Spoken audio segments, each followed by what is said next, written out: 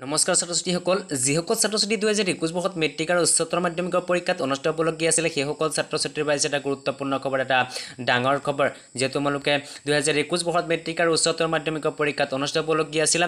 সেই পৰীক্ষাৰ বাবে বিভিন্ন ধৰণৰ চিন্তা চৰ্চা চলি আছিলে আৰু সেই চিন্তা চৰ্চাৰ মাজতে এইবাৰ অসমৰ কিছুমান শিক্ষাৰ্থীয়ে উচ্চতম ন্যায়ালয়ত কৰিছে আবেদন। আৰু সেই উচ্চতম ন্যায়ালয়ত আবেদন কৰাৰ মতে উচ্চতম ন্যায়ালয়ে পিছত কৈছে যে সোতৰ জুনত কৰিব সেই আবেদনৰ শুনানি। যে এইবাৰ মেট্ৰিক আৰু উচ্চতৰ মাধ্যমিকৰ পৰীক্ষা বাতিল হ'বনে লোৱা হ'ব সোতৰ জুনত কৰিব সেই ফাইনেল কথা। আৰু ইয়াত কোৱা হৈছে যে দশম আৰু দ্বাদশ দ্বাদশৰ পৰীক্ষা বাতিলৰ নিৰ্দেশ বিচাৰি উচ্চতম ন্যায়ালয়ৰ দ্বাৰস্থ অসমৰ শিক্ষাৰ্থী। সোতৰ জুনত আবেদনৰ শুনানি। যে আৰু ইয়াত কোৱা হৈছে যে যদি তোমালোকৰ এইবাৰ মেট্ৰিক আৰু উচ্চতৰ মাধ্যমিক পৰীক্ষা হয় উচ্চতম ন্যায়ালয়ে কৈছে যে সোতৰ জনত তোমালোকৰ সেই কথাটো ফাইনেল কৰিব। আৰু ইয়াত কোৱা হৈছে অসমৰ চাৰিজন প্ৰভাৱিত ছাত্ৰ ছাত্ৰীয়ে দশম আৰু দ্বাদশ শ্ৰেণীৰ চূড়ান্ত পৰীক্ষা বাতিলৰ নিৰ্দেশ বিচাৰি এইবাৰ কাষ চাপিল উচ্চতম ন্যায়ালয়ৰ।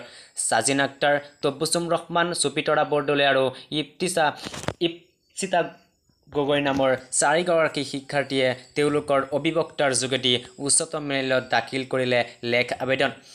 তেওঁলোকে আবেদনত অসমৰ বৰ্তমান পৰিস্থিতিত ৰাজ্য চৰকাৰে দশম আৰু দ্বাদশ শ্ৰেণী পৰীক্ষা পাতিবলৈ লৈ ছাত্ৰ ছাত্ৰীৰ জীৱনৰ লগত হেতালি খেলাৰ অভিযোগ তুলি পৰীক্ষা বাতিলৰ আগ্ৰহ প্ৰকাশ কৰিছে।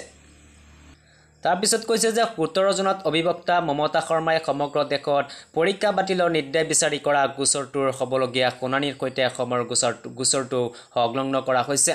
চাৰিগৰাকী শিক্ষাৰ্থীয়ে আবেদনত অসম চৰকাৰৰ দ্বাৰা এটা সঠিক সময় নিৰ্ধাৰিত চি বি এছ ইৰ সদৃশ্য বিকল্প মূল্যায়নো বিচাৰিছে। লগতে যিসকল এনে মূল্যায়নৰ সন্তুষ্ট নহয় তেনে পৰীক্ষাৰ্থীৰ কাৰণে ক'ভিড পৰিস্থিতি খাম কটাৰ পিছত পৰীক্ষা পতাৰ পোষকতা কৰিছে আবেদনকাৰীকেইজনে। তাৰপিছত কোৱা হৈছে যে উল্লেখযোগ্য যে অহা সোতৰ জুনৰ শুনানিৰ দিনা কেন্দ্ৰীয় চৰকাৰৰ অভিবক্তা দেশৰ এটৰ্নী জেনেৰেল কে কে বেণুগোপালক বিগত শুনানি উচ্চতম ন্যায়ালয়ে চি বি এছ ইয়ে পৰীক্ষা বাতিল কৰাৰ পিছত বিকল্প মূল্যায়ন পদ্ধতি কি হ'ব তাৰ সবিশেষ জমা দিবলৈ নিৰ্দেশ দিছিল।